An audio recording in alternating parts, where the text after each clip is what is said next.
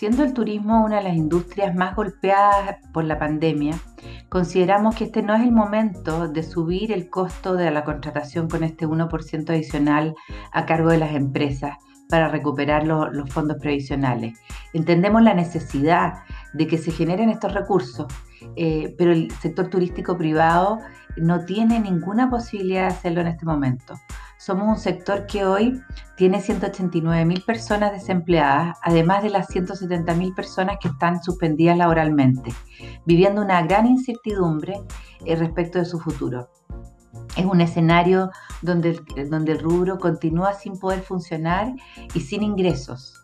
Encarecer en este momento el costo de contratación supone un freno adicional a la recuperación del empleo de la actividad turística, tomando en cuenta que el 98% de las empresas que trabajan en nuestro sector son pymes.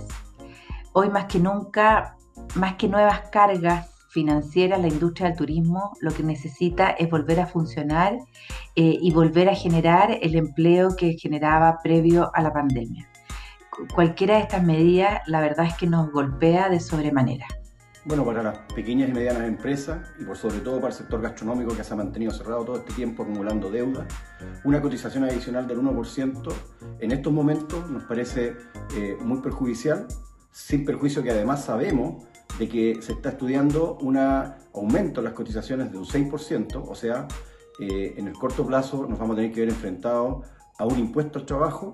Esto efectivamente desincentiva el sector formal y va a aumentar la brecha entre los trabajadores del mundo informal y los del mundo formal. Nosotros hemos solicitado ocho tipos de medidas especiales en esta crisis y evidentemente que estas políticas de los retiros de los fondos de pensiones van totalmente en contra de lo que se requiere en un momento como el que estamos viviendo.